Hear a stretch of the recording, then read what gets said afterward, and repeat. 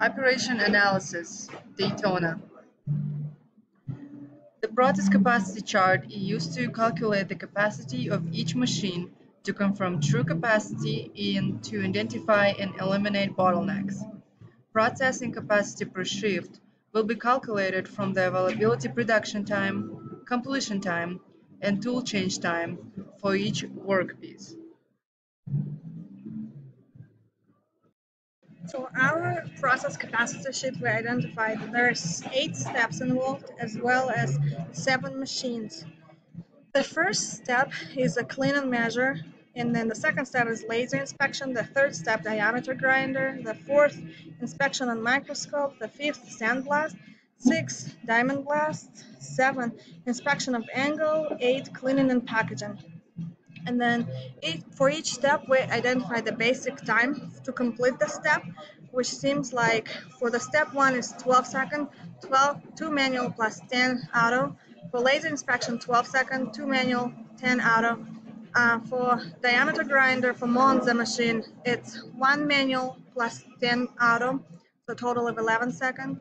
For the fourth step, it's 5 and only um, manual seconds. For the sandblast, it's two manual plus seven auto, which total nine seconds. For diamond blast, two auto plus seven, plus, which is nine. And then for inspection of angle, it's two manual plus five auto, which is seven.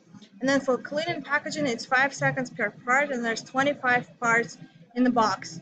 So then we calculated how many, how much, how many seconds does it take for the tool change, and there's total of about 300 um, uh, parts, after which we're doing the tool change for 300 seconds. Then another 300 part of a different um, different size is about 100 seconds, and another 300 of a different size is about 540 uh, seconds. I try to calculate the processing uh, processing capacity per shift, which is total of 2,300 23 and 100 seconds minus 1500 seconds for the which gives us the available time which we divide in by um, the com completion uh, time in seconds. For the first step, we divided it uh, available time by 12 seconds, which gave us uh, 1800 processing capacity. For the second step, it gives us 1883. For the third step 1884 for the fourth 4620 for the fifth 2566 for the sixth 2566 for the seventh 3300 and here after that we were trying to calculate the the bottleneck out of all this capacity which seems for us that the bottleneck is the third step the bottleneck um, Monza tool next slide is talking about the standard word combination table. Uh, we started our calculations at the table, which is a small table that they have next to the, the deviling machine. Um, and we worked from there and started doing the work elements. The first work element is was pay, placing the part on the deviling machine.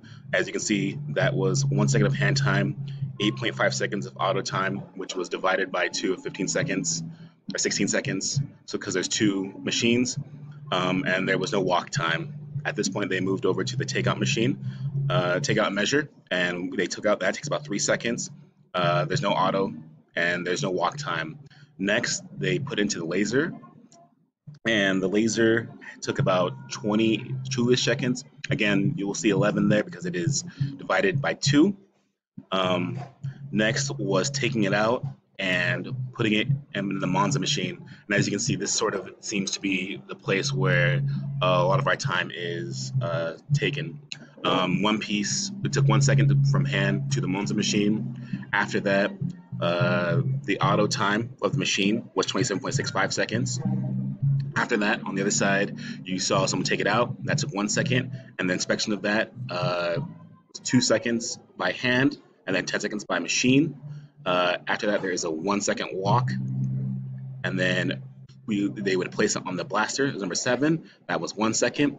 Number eight was uh, grab grab and place in blaster number one. That was also one second. And then there was times here, and eight and nine and ten where times were 21, 20, and five. and there was with, with one second talking or one second walk. The the problem here we saw was that um, a lot of the machines would be done, but they were working on something else, and so it would sit in that machine for a one time. Finally, we end at a place in the new box. Uh, this does not, I will say that this, there are two machines after this, but this is where we stop because the next two machines are speaking on uh, reworks instead of actually just straight through. As you can see, our entire time was 29 seconds. We had 14 seconds hand time, 3 seconds of walk time, and 12 seconds of waiting time. Our stuff comes in from the raw material section, which is then taken to the devil machine, which is then used at the lasers. And then we have inspections and safety precautions throughout. This is our first inspection right here. Next it's taken to the blasters and to the chamfer inspection. After that it's the chamfer regrind. And then on to the sand blaster where it's finished and then sent out to shipping. Every time you see a cross, it's a safety precaution due to heavy machinery. Uh, anytime you see a circle, it is considered a work in process, so it's improved upon. And then any quality check is just them inspecting things. Our takt time determined is 16.2 seconds, and the cycle time is 20.3. Currently, we're working with a standardization of six operators.